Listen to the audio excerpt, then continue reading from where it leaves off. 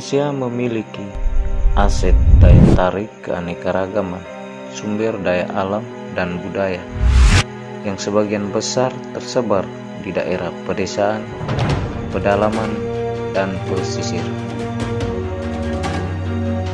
Dengan berbagai keanekaragaman dari berbagai suku bangsa, masyarakatnya masih tetap menjaga, mengembangkan, dan melaksanakan tradisi sebagai identitasnya.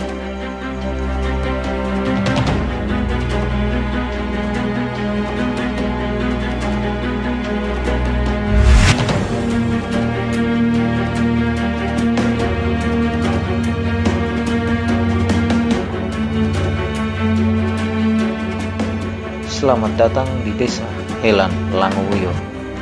Di sinilah kearifan lokal masih tetap terjaga.